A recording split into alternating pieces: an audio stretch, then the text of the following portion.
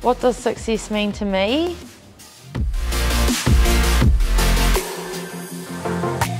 I love the competitive nature and the dynamic game that netball is. And once it's in your blood, it just is very hard to get rid of. Like, it just keeps drawing you back.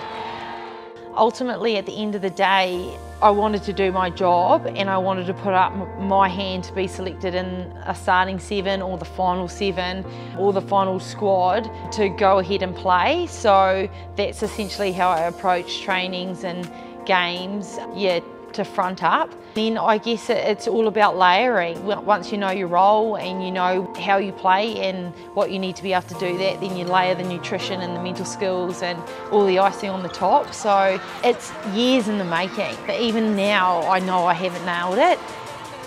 You certainly start off as a sponge in terms of you watch players and I would look at players and be like, man, how can I put that in my game? what would that look like Laura style? So again, I really, really fortunate with the players that I was exposed to that I could pick and weave the aspects of their games and try put it into how that would look in my role.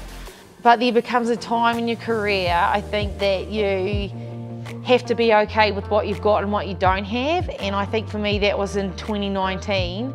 I think about team sports is it really does grow competitiveness mental skills, friendships, learning how to work with players that in another walk of life you may never have come across. And those are the things that I think are skills that are applicable everything you do in life. So yeah, I, I think just team sport sport's just wonderful. What does success mean to me? Probably over the years has changed from year to year. Personally, I think getting to a stage where you're really comfortable in your own skin. You know what you've got, you know what you don't have, and to be okay with that is just being happy in your own skin.